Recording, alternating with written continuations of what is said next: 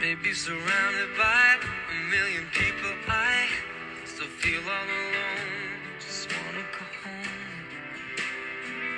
Oh, I miss you, you know. that song came to my mind as I was heading out for my uh, day off, day of reflection. Greetings, everybody. Good morning. It's Valerie Ling here. What's the weather like where you are? Where I am right now, there are some pretty gray skies, and it is threatening, I think, to be a fairly wet day, which will be fantastic all round. Reflection Day today is for me many things. A day to just reset, recharge. You know, one of the things that I have been observing because I'm in the process of doing a bunch of recruitment at the moment for the practice. It's it's pretty common this time of year. Um, we've got some uh, 2020 goals. We've reviewed our manpower resources um, and services that we would like to provide. And it's very, very common that we actually go through a recruitment exercise around about now. And one of the things that I'm observing is just how much um, uh, individuals pack into their view of what they're going to be able to do uh, in the new year. And a lot of times it's because there is enthusiasm for growth, thinking of all the different ways that we can maximize our growth. And I think two things stand out to me about this. One is there's plenty of activity and I wonder though about how much space there is to to do the actual growing. And the second thing is the kind of optimistic forecasting we have about ourselves. And I wonder if that's because part part of it is um, a lot of times we don't give ourselves the opportunity to actually um, I call it the hacker way, which is to try first and see how you feel and how you sit with things.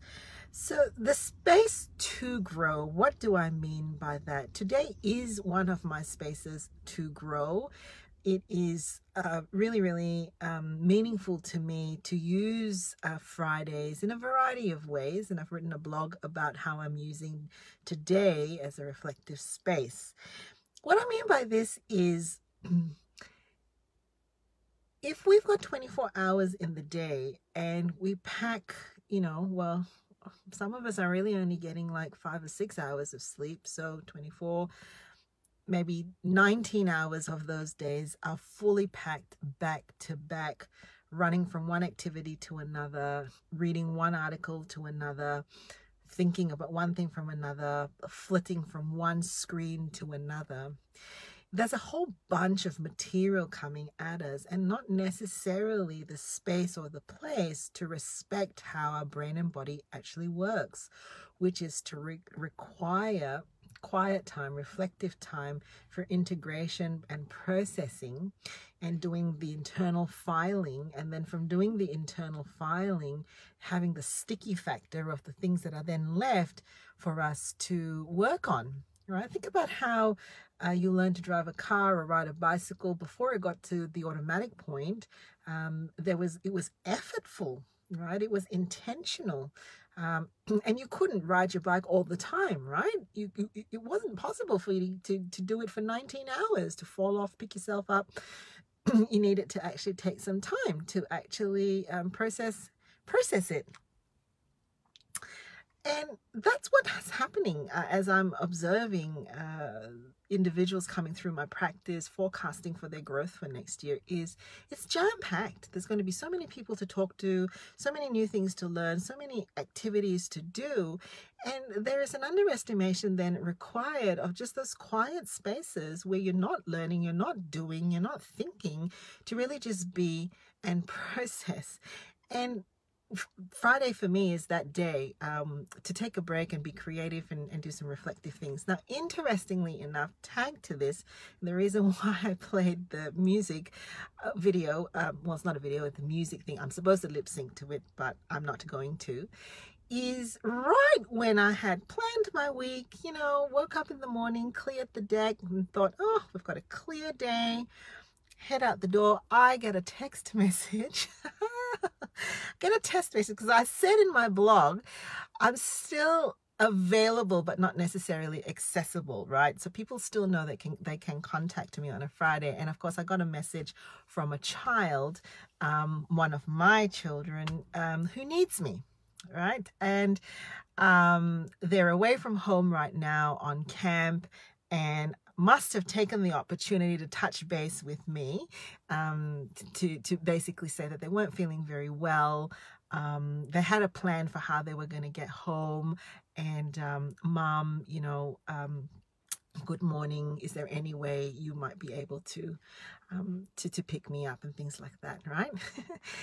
And you know what? Um, I'm thankful for the spaces in my world that give me the opportunity when a message like that comes in to be in a space where I'm not reactive. Not always, sometimes I am reactive. And, and even when I am, it's like, you know, what do I need? What's missing from my world?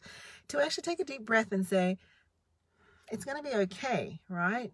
We can do this. We can do this. Let's have a quick review of the day. kind of, I call it skateboard and doing um, your diary the Tetris way. You kind of know what your chunks are and you move the chunks around and you think, plonk, there goes. Um, that block now that is going to be available to help this. Now, sometimes that could also mean having the mental space to do the Tetris in my head, the blocks to think, is there someone I need to call, right? Is there someone I need to call? Are there people that um, could step into this space and things like that? Now, as human beings, this doesn't happen automatically, right? Because your brain is is organic. Your brain is uh, material.